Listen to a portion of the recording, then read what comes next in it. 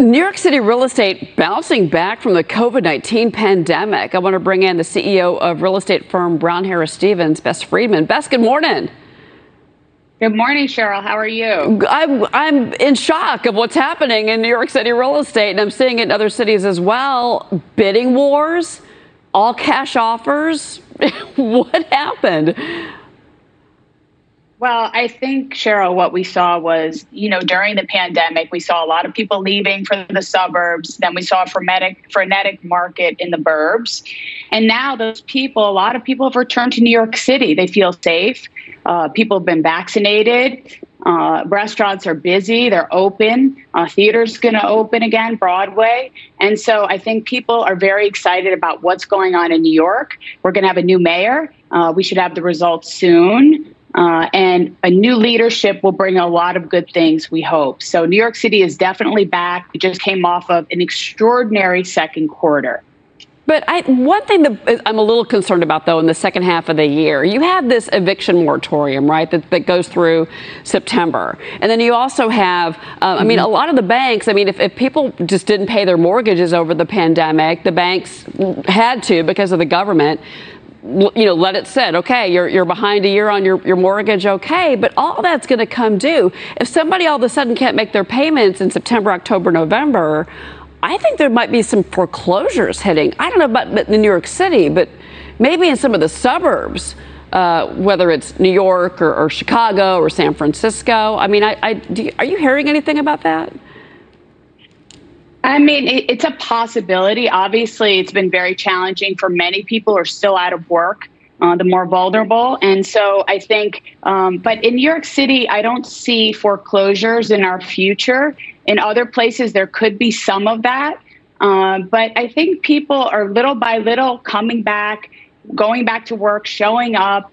Uh, and I don't think that's going to be such a big issue. I'm sure there will be some foreclosures, but I don't think in yeah. the way that you might think. Maybe not um, here. Feeling better yeah. about it. Yeah, maybe not in the city, but yeah. I just, I don't know. I mean, maybe in some of the suburban markets. Patrice, I mean, you know, one of the things that I've, I, I've thought about a lot and, and, I've talked about somewhat on, on other networks, uh, other shows, excuse me, other networks, is that if you don't have a safe city, then what does that mean for real estate? If you don't, if crime doesn't get under control, whether it's New York or Chicago or San Francisco, then why would I want to put money down in real estate in one of these cities?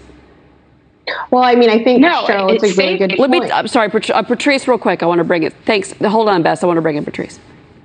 Well, I think Bess kind of touched on it, which is that you know new leadership in New York City potentially could bring a different approach to how crime is being dealt with. I mean, obviously, when you're seeing random tourists getting shot in, in Times Square, you know, I think these are these are the kind of concerns that obviously are going to go into be a part of play here.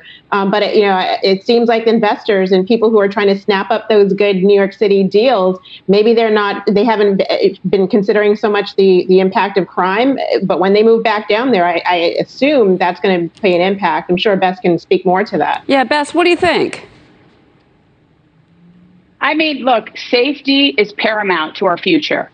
And I think the reason why Eric Adams is doing so well and could most likely be our mayor is because he made that of primary importance. Um, I think that the media gets carried away with crime. I don't think that it's as bad. I live in New York City. I'm there every day. I raise children there. Um, yes, crime has ticked up and safety is super important. Uh, 1,100 new police officers have been assigned to the subway, so ridership is up people are feeling better. But yes, we have to make sure we're a safe city because without that, we have nothing.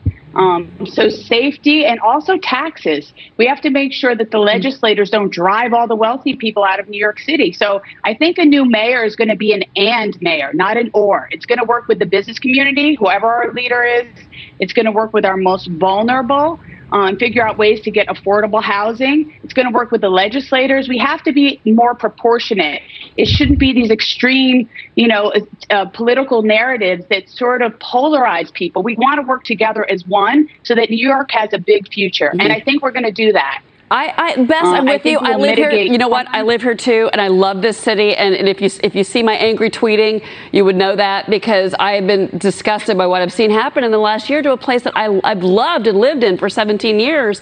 But you know, yeah, you may not see the, the crime numbers in Manhattan, and maybe Manhattan real estate is where we're seeing this big uptick. But the the other boroughs, you know, not so much. I mean, but but real quick, you said something I want to follow up on. You know, you mentioned the taxes.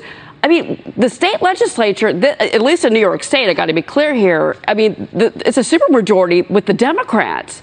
They're talking about taxing more. They're talking about raising taxes. They don't care if businesses flee. They don't seem to care if everybody goes to Florida and never comes back to New York City. Can, can a mayor really have that much power to deal with that, Bess? Well, yeah, I think the mayor will have an influence, and they have to care because if you don't have developers building buildings and you don't have companies having their home base in New York City, the whole city will suffer. And I think the city council, you know, we just finished that race, the primary, um, and there there's a little bit more balance and more proportion, uh, and that decides the budget for New York. Uh, you don't want to demonize the wealthy. There's a lot of people who have a lot of money who want yeah. to use their platform to help I know. others. And, and they do it. more about politics. And that's what they do. Know? It kills they me. They do it. They You're right. Me. Best. Right. We got to keep. We got to keep talking. I'm going to email you later. Bess Freedman, thank you so much for being here. It's always great. You're so positive. I appreciate Thanks, that.